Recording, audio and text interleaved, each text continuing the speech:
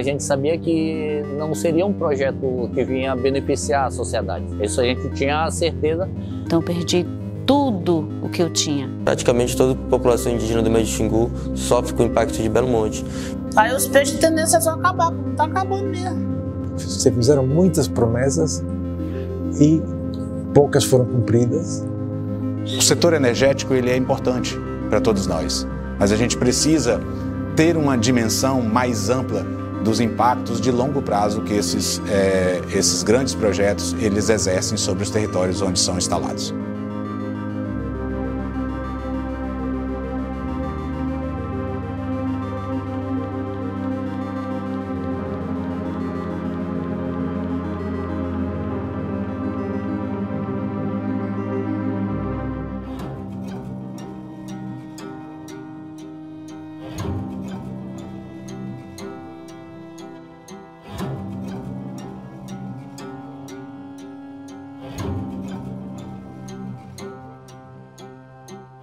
A principal reflexão que a gente pode tirar desse processo todo é que o projeto apresenta grandes problemas relativo a deslocamento, compulsório das pessoas e a todo o cumprimento das condicionantes que uma grande maioria foi é, cumprida de forma parcial, outras foram é, feitas em forma de desacordo com o que a população esperava. A população sentiu um impacto enorme o meio ambiente também, o rio também teve muito impacto e que as pessoas foram, muita gente ficou sem compensação. Na realidade, o pessoal fala dos royalties, né? Mas a gente não vê, não vê a compensação em relação ao nosso município. Não estou vendo nada, né?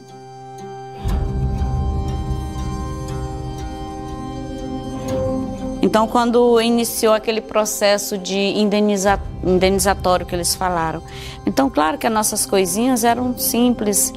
E aí eles botaram como que fosse uma coisa para comércio, aí começaram a fazer é, indenização. Ah, teu valor X é esse, mas para onde que eu vou, não sei.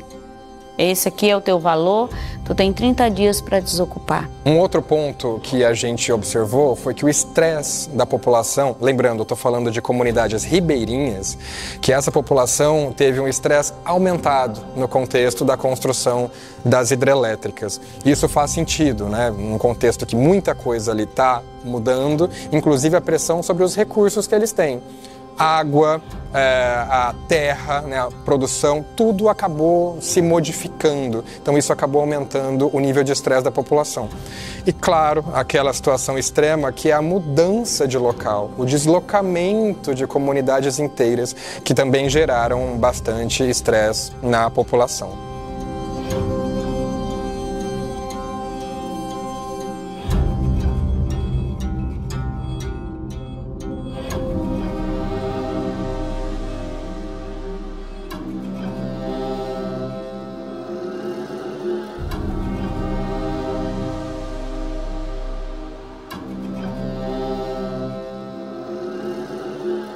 Gente percebeu que a população da cidade de Altamira se percebe enquanto uma área que teve que pagar o preço pela produção de energia nacional.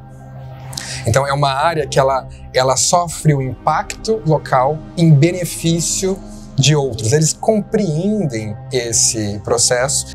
Os principais impactos foi na questão ambiental, na questão social, e aí nós temos também é, os impactos que vão se desencadeando né, com o decorrer da construção, né, que vai trazer a questão dos rios, das águas, a questão da alimentação, que tem o sumiço né, da, das espécies da pesca. Né? Então, para a gente, esses foram os principais impactos. Então, Belo Monte, é, ela trouxe uma violação geral entre todos os direitos tanto das famílias como os do meio ambiente. Porque tanto o meio ambiente foi tirado o seu curso de vida, como as famílias que nele habitavam. Então foi uma violação de direito. E é assim que nós vemos isso.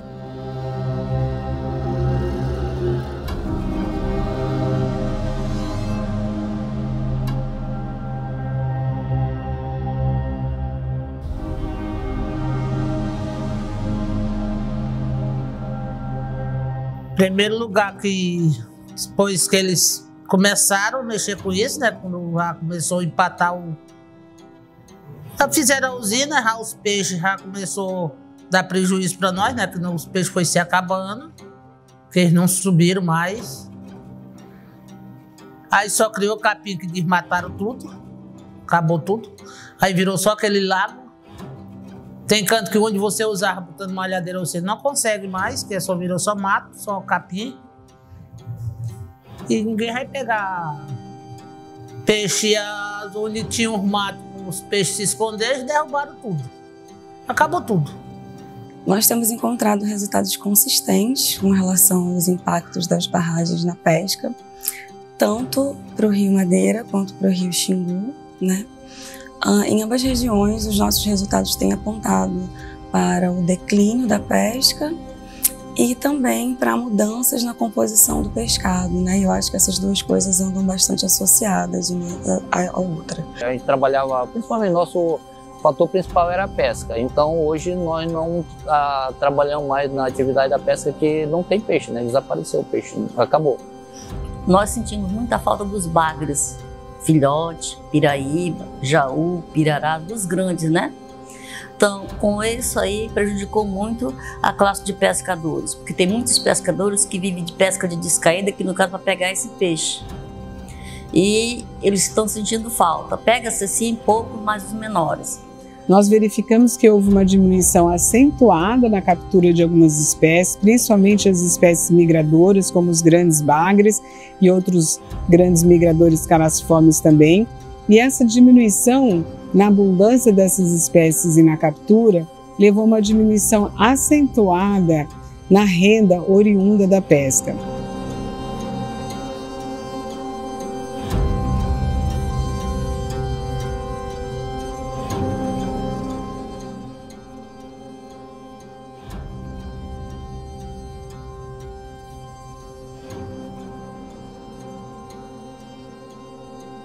Impacto sobre a agricultura familiar foi muito forte, porque elevou significativamente o custo da mão de obra, diminuiu a quantidade de trabalhadores na região, muitos agricultores abandonaram por completo suas áreas de lavoura então, acho que o primeiro impacto é isso, né? Diminuição da diversidade produtiva, né? É, deslocamento de populações, né? Deslocamento, é, alteração do desenho, né? Das áreas de várzea, né? Então, áreas que, que áreas de várzea, algumas áreas aumentaram, outras diminuíram bastante. Então, teve toda essa descaracterização da paisagem, né? Local. E com isso, é, migrações, né? Migrações de, de pessoas. Aí depois, é, Durante a construção, tivemos o aumento da criminalidade em Altamira, né, e após a construção da hidrelétrica, isso também se tornou uma questão né, que perdeu-se o controle. Né, aumentou, veio muita gente para a cidade, uma cidade que não tinha capacidade, suporte para é, amparar tanta gente, né, porque muitas pessoas que vieram não tiveram mais condições de voltar para suas cidades, para seus territórios, então Altamira ficou né, sobrecarregada de tudo isso. As pessoas foram colocadas em lugares que hoje tem problemas sérios de segurança, sérios de saúde, tem conflitos sociais sérios, a renda é baixa, não, não, não tem opção de emprego. Os reassentamentos que foram aparelhados para uma situação, passado 10 anos, eles já estão todos sucateados. É, sobre as áreas protegidas, a gente vê após a instalação, né, principalmente aqui em Rondônia, da, de, geral Santo Antônio é uma, uma alta flexibilização né, das unidades de conservação. Né? Então, tem unidades que tinham que eram características de uma proteção integral, né? E houve uma grande transformação, uma flexibilização de implantação de outros tipos de unidades, né? principalmente de uso sustentável. Né? E com isso, é, você permite uma maior abertura né? à questão de desmatamentos, né? e que não havia antes continua a mesma história, entendeu? Essa é uma história consistente. Se promete muitas coisas, não são cumpridas, são oportunidades para melhorar a região. Do desenvolvimento econômico verdadeiro não ocorre em nenhum dos dois lugares. Os impactos ambientais são enormes, ainda mais no Madeira, que o rio de, é, é, maior que, que, que o Xingu, é um rio de maior importância, porque tem muito sedimento que alimenta a agricultura da várzea, por exemplo.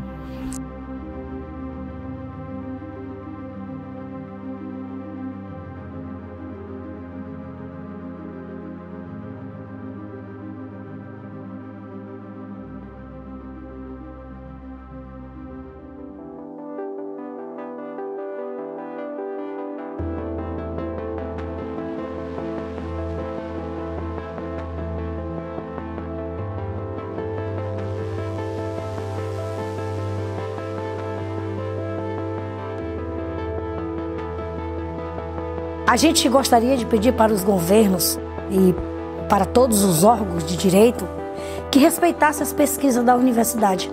Porque as pesquisas das universidades, elas são as vozes do povo que não pode chegar até lá. É através dessas pesquisas que nós mostramos como nós estamos vivendo. Conta as nossas histórias como nós falamos. A nossa linguagem vai para a caneta deles.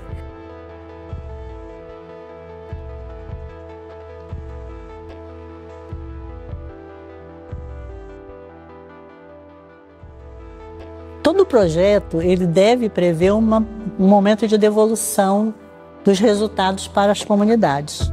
Então, um evento como esse, ele tem a importância e a significação, ou é tão significativo quanto a própria pesquisa.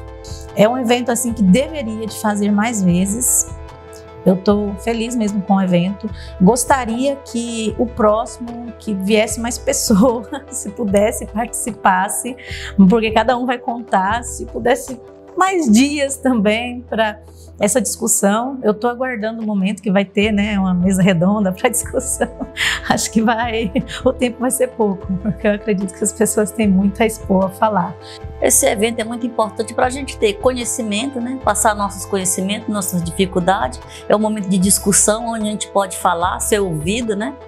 E daqui saia, esperamos que saia algum outro trabalho bom a favor da classe de pescadores. Não só de pescadores do Ribeirinho, né? Que foram muitos afetados, né?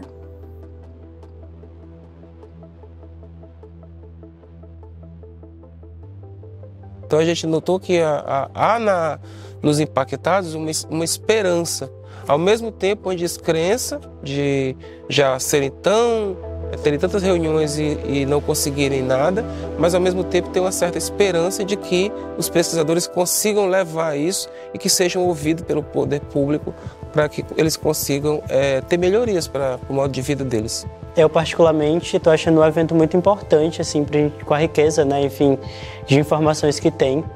É, acredito que não só eu, mas o movimento dos atingidos por barragens em si é, é, essas pesquisas como um fortalecimento de conhecimento, assim, sim, né? enfim, um embasamento mais teórico e científico para poder a gente conseguir é, possivelmente fazer uma garantia de política pública futura, né? E não ter espaços assim, com órgãos, com, com pesquisadores, com o FPA, que é uma, uma rede de um instituto muito importante para, para o Pará em si. E essa troca de saberes é importante. Tem que ter outros espaços assim, outros fóruns que pro, promovam essa comunicação, onde a gente pode expor e falar o que, que vem acontecendo nos nossos territórios.